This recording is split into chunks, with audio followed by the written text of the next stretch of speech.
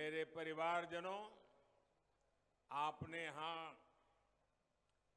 ब्रज क्षेत्र की बड़ी मशहूर कहावत है।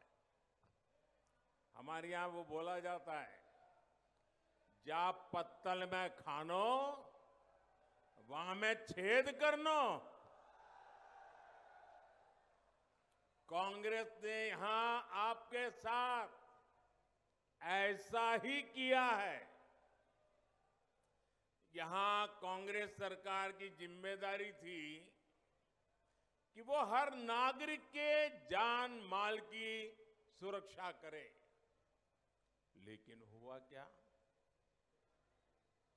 बीते पाँच वर्षों में बहनों बेटियों पर, दलितों पर, वंचितों पर सबसे ज़्यादा अपराध सबसे ज़्यादा जुल्म हुआ। होली हो, रामनवमी हो, हनुमान जयंती हो, कोई भी त्योहार आप लोग शांति से नहीं मना पाए। दंगे, पत्थरबाजी, कर्फ्यू, राजस्थान में यही सब चलता रहा। कांग्रेस जहाँ जहाँ आती है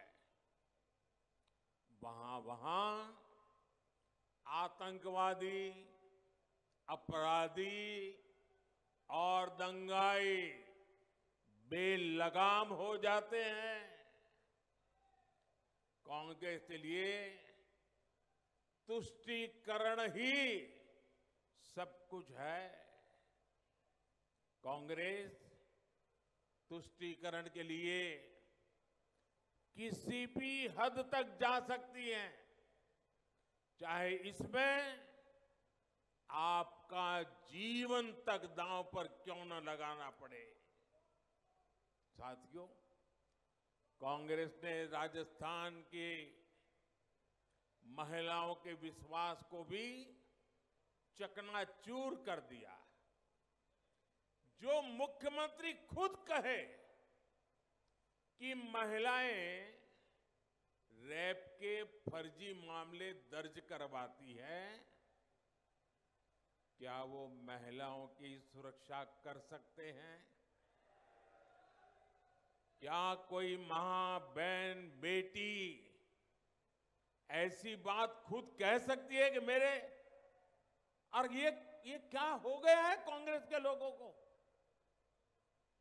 क्या ऐसे मुख्यमंत्री को, ऐसे जादूगर को एक मिनट भी कुर्सी पर रहने का हक है क्या? एक मिनट भी रहने का हक है क्या? अब उनको विदाई करोगे कि नहीं करोगे आप लोग? पक्का करोगे? 25 तारीख आपके हाथ में है। भाई और बहनों, महिलाओं को लेकर कांग्रेस की सोच कितनी गिरी हुई है, ये कांग्रेस के एक मंत्री के बयान से पता चलता है। महिला अत्याचार पर उस मंत्री ने कहा कि इसलिए हो रहा है क्योंकि राजस्थान मर्दों का प्रदेश है।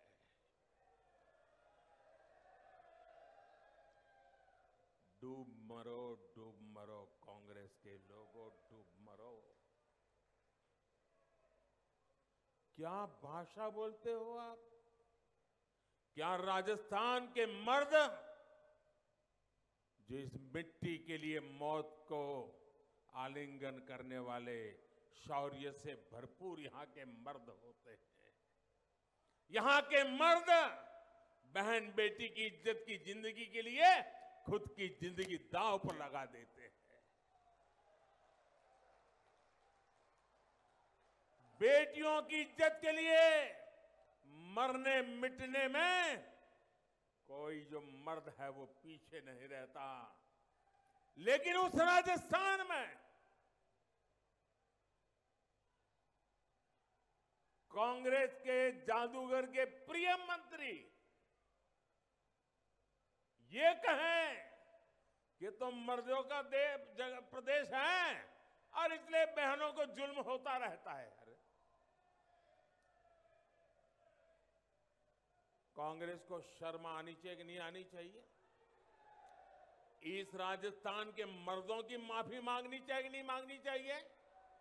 यहाँ की माताओं, बहनों की माफ़ी मांगनी चाहिए नहीं मांगनी चाहिए? क्या राजस्थान की कोई भी माँ, बहन, बेटी इस बयान को स्वीकार कर सकती है?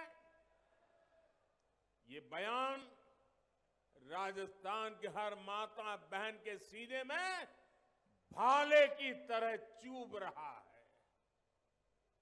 और कांग्रेस ने इस मंत्री को सजा देने के बजाय इनाम दे दिया है। टिकट। दिल्ली वाले भी इससे सहमत हो गए और इसलिए दिल्ली में बैठे लोग वे भी इस बात से सहमत हो गए, इस पाप से सहमत हो गए। और इसीलिए उनको टिकट दे दिया। सवाल ये उठता है कि जादूगर के एक प्रिय मंत्री के पास वो कौन सी दूसरी लाल डायरी है कि दिल्ली को भी झुकना पड़ा और ऐसे व्यक्ति को टिकट देना पड़ा? दिल्ली में बैठे कांग्रेस के हर नेता को इस मंत्री की सच्चाई का पता है। लेकिन फिर भी इस मंत्री के पास कोई ऐसी जानकारी है? दिल्ली में बैठे हुए लोगों की भी कोई जानकारी है? सब उससे कांपते हैं, टिकट दे दिया है। मैं आपको वादा करता हूँ, यहाँ भाजपा की सरकार बनने के बाद उस राज को भी खोलने की कोशिश की जाएगी।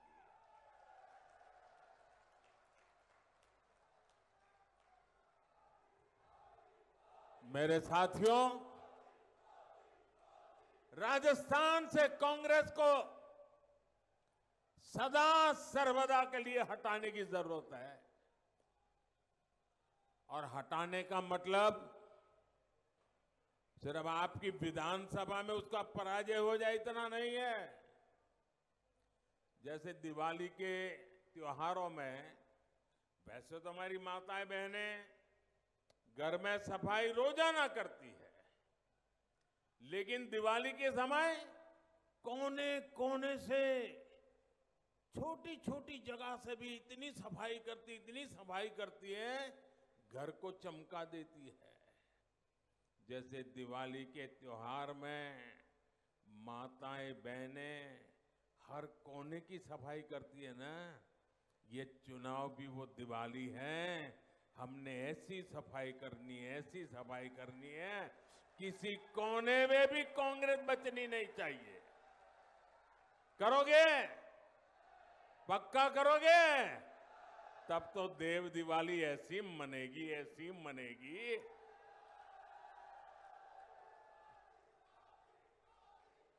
साथियों, कांग्रेस के शासन में दलितों के खिलाफ भी अत्याचार के नए रिकॉर्ड बन रहे हैं। कांग्रेस स्वभाव से ही दलित विरोधी है। मैं एक सबसे ताज़ा उदाहरण आपको देता हूँ। अभी हाल में ही देश को पहला, देश को पहला दलित मुख्य सूचना आयुक्त मिला, चीफ इंफॉर्मेशन कमिश्नर। उनका नाम है हीरालाल सामरिया जी। ये दलित माँ का बेटा हीरालाल, ये आपके इसी डीग गाँव के रहने वाले हैं। ये डीग थोड़े समय पहले तक भरूच ये हमारे भरतपुर ज़िले का हिस्सा हुआ करता था। लेकिन दुर्भाग्य ये है कि कांग्रेस को एक प्रतिभाशाली दलित अधिकारी की नियुक्ति भी पसंद नहीं आई। इसके लिए जो मीटिंग रखी गई थी, उसका भी कांग्रेस ने बायकॉट किया। कांग्रेस एक दलित अफसर को ऊँचे पद पर पहुँचते हुए देख ही नहीं सकती ये वही कांग्रेस है जिसने रामनाथ कोविंद जी का विरोध किया था। ये वही कांग्रेस है जिसने बाबा साहब आम्बेडकर को हमेशा अपमानित किया। कांग्रेस ने दो दो बार बाबा साहब को चुनाव में हराया। उन्हें राजनीति से दूर करने की कोशिश की, जबकि ये भाजपा है जो बाबा साहब से जुड़े पुण्य स्थलों को पंच तीर्थ के तौर पर विकसित कर रही है। बाबा साहब के बाद दशकों दूसरा दलित कानून मंत्री भी भाजपा ने ही बनाया है। हमारे राजस्थान के ही अर्जुन राम मेघवाल जी, आज देश के बड़े बड़े कानूनों को बनाने में बड़ी भूमिका निभा रहे हैं। मेरे परिवारजनों, आपका सपना आपका सपना। आपका सपना ही मोदी का संकल्प है।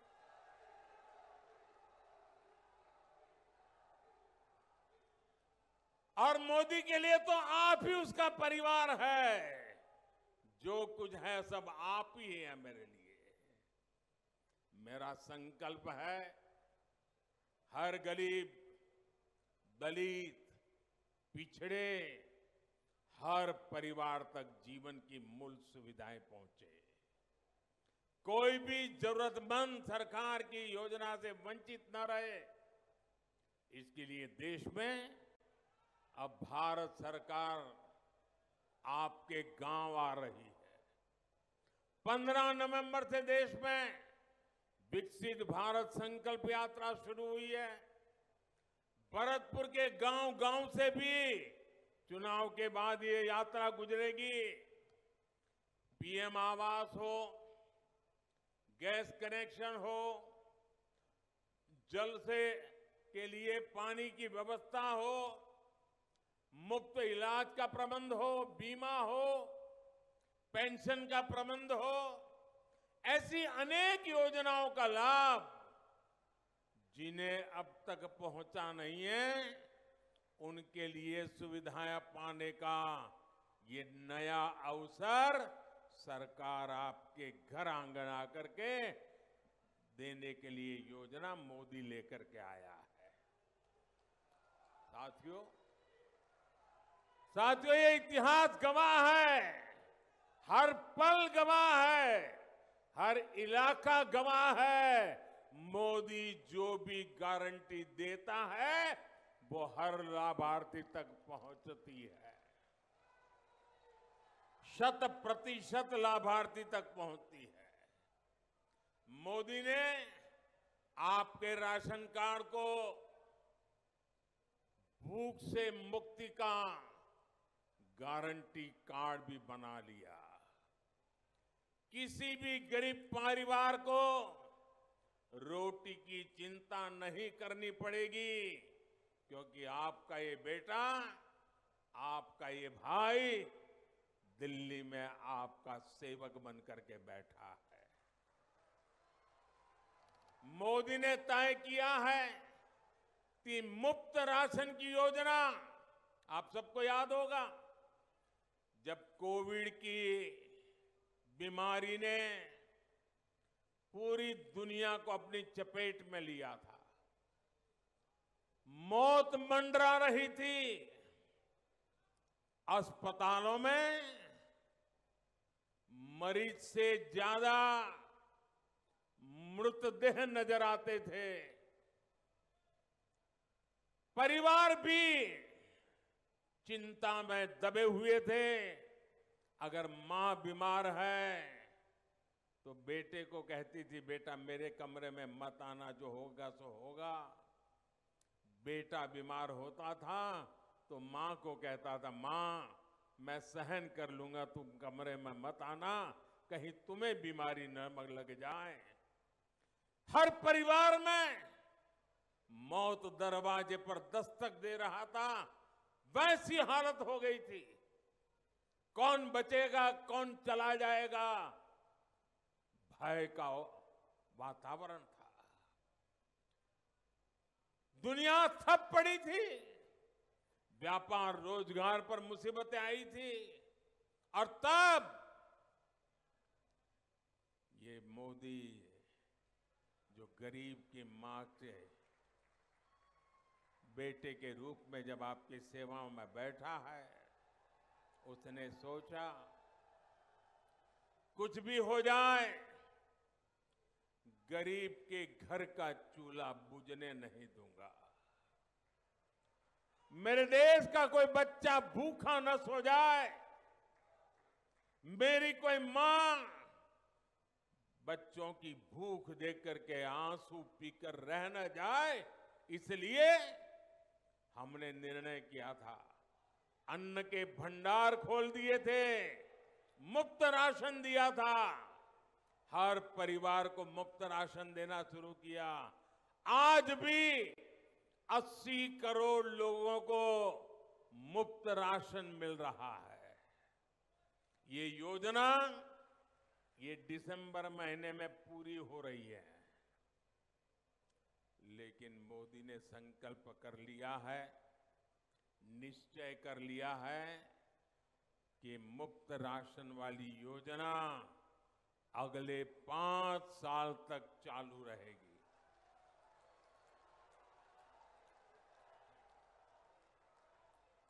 अब किसी परिवार को भोजन की थाली की चिंता नहीं रहेगी, इतना बड़ा पवित्र कार्य करने का निर्णय किया। है मुझे बताइए भैया, राजस्थान के लोग तो वीरता से भरे हुए लोग हैं। जब ऐसा काम करते हैं तो पुण्य मिलता है कि नहीं मिलता है? ऐसे नहीं, जरा ज़ोर से बताइए, माताएँ, बहनें, बताइए, पुण्य मिलता है कि नहीं मिलता है? पुण्य मिलता है कि नहीं मिलता है? अब पाँच साल के लिए गरीब के घर में चूल्हा चूल्हा जलता रहेगा, बच्चे को रोटी मिलेगी, क्या पुण्य मिलेगा कि नहीं मिलेगा? मिलेगा कि नहीं मिलेगा? ये किसको मिलेगा? ये पुण्य किसको मिलेगा? ये पुण्य किसको मिलेगा? ये पुण्य आपको मिलेगा। ये पुण्य के हकदार आप हैं, क्योंकि आपने वोट दे करके मोदी से ये पवित्र काम करवाया है, और इसलिए ये पुण्य के अधिकारी आप हैं।